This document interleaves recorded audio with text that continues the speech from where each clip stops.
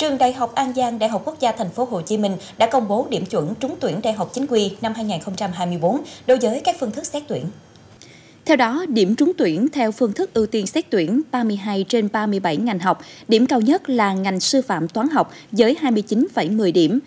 Ngành đào tạo có số điểm trúng tuyển thấp nhất tại trường là ngành kỹ thuật phần mềm và ngành công nghệ thông tin đều với 20,60 điểm. Theo phương thức xét tuyển dựa trên kết quả thi đánh giá năng lực của Đại học Quốc gia Thành phố Hồ Chí Minh có 37 ngành học, trong đó ngành quản trị tài nguyên và môi trường, phát triển nông thôn, chăn nuôi, khoa học cây trồng có điểm chuẩn là 600 điểm. Ngành sư phạm toán học có điểm chuẩn cao nhất với 831 điểm.